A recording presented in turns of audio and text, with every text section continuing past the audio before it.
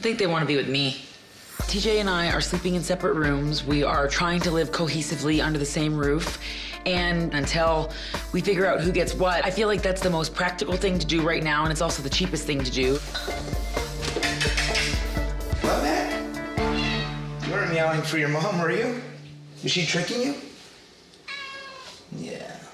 You can't just act like you want to have the TV set, the couch, all the stuff, and then the cats as well.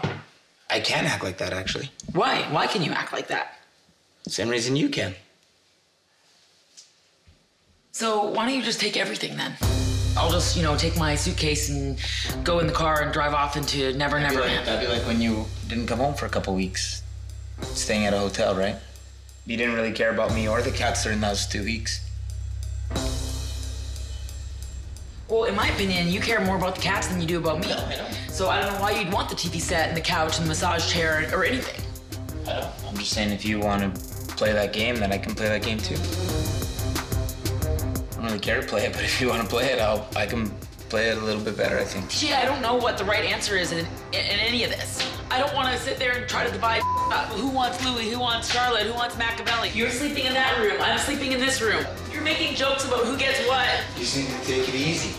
I'm not gonna continue to go on living my life and acting like everything's fine when it's not. Nothing is right. Nothing.